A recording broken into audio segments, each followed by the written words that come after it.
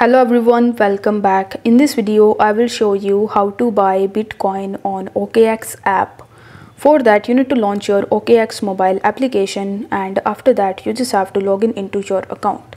Now, once you're successfully logged in, on the home page, you are going to see this exchange tab in the top. So you need to make sure that you are using OKX exchange. Now, once you are on OKX exchange, on the home page, you are going to see Bitcoin and its current price it will also show you the 24 hours changes on the home page in Bitcoin as well. So over here, in order to buy Bitcoin, you need to tap on Bitcoin option and then you will be redirect on the Bitcoin chart. Now over here, you need to tap on the trade option in the bottom and then you will be landed on this type of page. Now over here you are going to see its current price. So if you want to purchase Bitcoin on its current price then you just have to select the price as it is or if you want to increase or decrease the price according to you then you can tap on the limit order option and after that you will have to select it as market order.